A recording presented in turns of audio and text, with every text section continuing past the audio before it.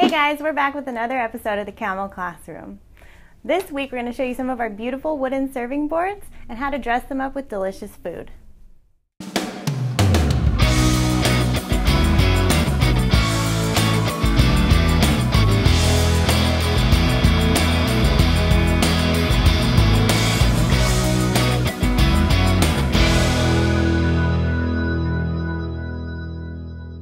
These boards are great for serving foods such as selections of meat and cheese, steaks, burgers, and more.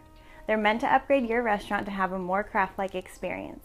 You can even pair them with one of our tabletop accessories like our french fry holders to create an even more unique appearance. We have different types of wood finishes like maple, oak, and walnut in various shapes and sizes.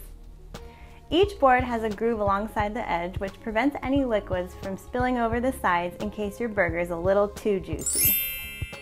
As these boards are meant to have direct contact with food, they will need to be sanitized after each use. We don't recommend running them through the dishwasher, but you can hand wash with soap and water.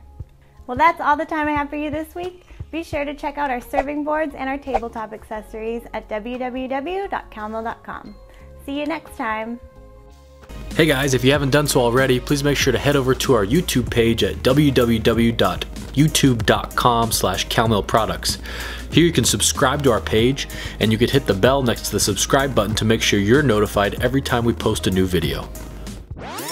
Hope this episode wasn't too cheesy for ya.